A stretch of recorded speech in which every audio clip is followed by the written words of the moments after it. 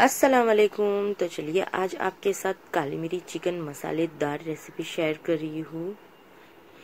तो देखिए, चिकन को जो मैंने अच्छे से वॉश कर लिया है, अभी जो है मैं इसमें मसाले ऐड करूँगी। सबसे पहले देखिए, मैंने नमक ऐड कर दिया है।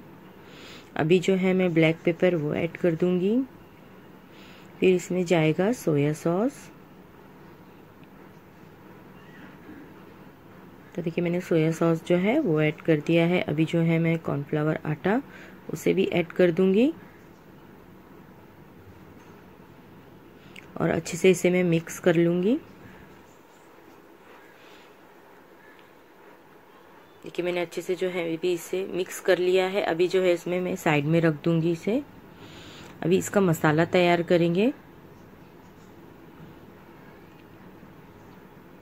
देखिए, मैंने पैन जो है गैस पे चढ़ा दिया है। तो इसमें गरम मसाला जो है, मैं सबसे पहले हमें रोस्ट कर लेना है। तो देखिए, सबसे पहले जो है, मैं सूखी मिर्च, वो ऐड कर दूँगी, सौफ ऐड कर दूँगी। इलायची, दालचीनी, लौंग, काली मिरी एंड ज़ीरा। इन सभी को मैं डालकर अच्छे से भून लूँगी। इसी इसी से जो है हमारा चिकन जो है रेडी होगा गाइस बहुत इम्पोर्टेंट है ये मसाला। तो आप इसे स्किप मत करना। देखिए, मैंने अच्छे से इसे भून लिया है। अभी इसे ठंडा कर लूँगी और इसे पीस लूँगी।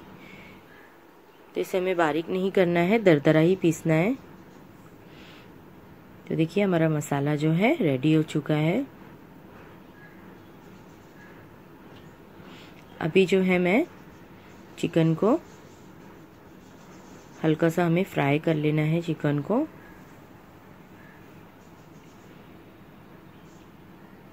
देखिए कलर आए तक हमें फ्राई करना है, ज़्यादा इसे ब्राउन कलर नहीं करना है।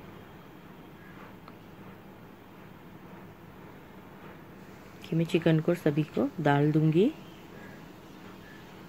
तो एक तरफ़ फ्राई हो चुका है, अभी जो है मैं इसे पलट लूँगी। तो देखिए हल्का सा जो है से कलर आ चुका है।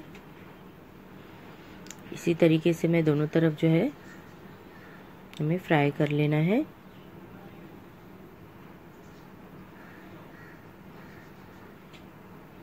देखिए, अच्छे से जो है फ्राई हो चुका है। अभी जो है मैं निकाल लूँगी प्लेट पर।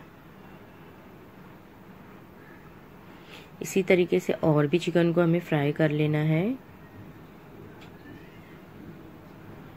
देखिए, मैंने कढ़ाई रख दिया है। गर्म होने, तेल गर्म हो चुका है। अभी जो है मैं बारीक कटी हुई प्याज, वो ऐड कर दूँगी। प्याज को जो मैं अच्छे से भून लूँगी। प्याज को ज़्यादा ब्राउन नहीं करना है। अभी जो है मैं इसमें अदरक, लहसन का पेस्ट, वो ऐड कर दूँगी। और अच्छे से इसे भी भून लूँगी।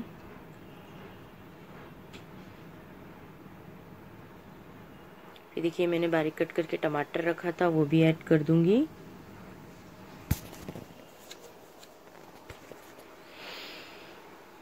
टमाटर को जो हमें अच्छे से गला लेना है। फिर इसमें देखिए मैंने सूखा मसाला ऐड किया है, जैसे कि हल्दी पाउडर एंड धनिया पाउडर। देखिए चिकन जो मैं फ्राई की थी वो ऐड कर दूँगी और अच्छे से इसे मिक्स कर लूँगी। फिर हमने जो मसाला तैयार किया था, अभी जो है हमें इसमें ऐड कर देना है मसाले को।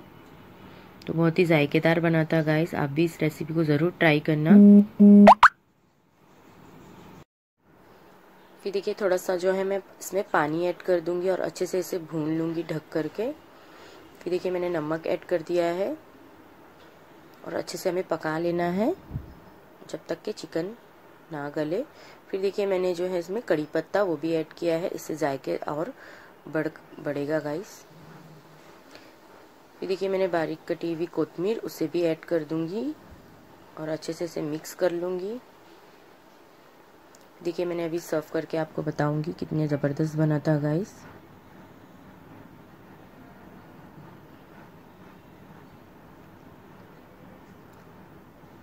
देखिए, बहुत ही यम बना था, खुशबू भी बहुत ही ज़बरदस्त आ रही थी। तो आप भी इस रेसिपी को ज़रूर ट्राई करना अच्छा लगा हो तो लाइक कर देना और मेरे चैनल को सब्सक्राइब कर देना।